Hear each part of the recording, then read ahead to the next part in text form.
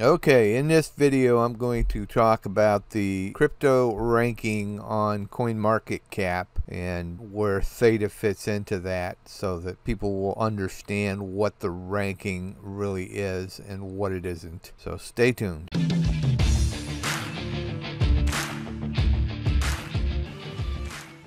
Okay, the CoinMarketCap list of cryptos is a list of cryptos that is sorted by the market cap of each crypto. Therefore, the crypto that is in the number one position or ranked as number one would be the one that has the highest market cap. What is market cap? Market cap is nothing more than the price of the crypto times the number of circulating coins to that crypto, i.e. Bitcoin. Because it's got such a high market cap, it is ranked number one. Whereas the next one down with the next highest market cap is ranked number two, and so on down the line. Theta, last time I looked, ranked number 27. Now, the question is the fact that Theta is ranked number 27, does that mean that the 26 coins above it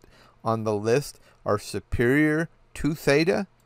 Absolutely not. It just means they've got a higher market cap, period. Because we all know that Theta is the best crypto out there. The fact that it's only ranked at number 27 on the list simply means that there's a hell of a lot of people out there that ain't figured out yet that it's a best coin going. Let's take a look at the prices. Theta is currently at $3 and T-Fuel is at 4.7 cents. And Digibyte, a favorite of mine, is uh, 6.1 cents. Not bad. Well, hopefully you have a better understanding of what market cap is and what the ranking in the list on CoinMarketCap actually means. So anyway, if you liked it or understood it, appreciate it if you'd give it a thumbs up on the way out. And I'll see you in the next video.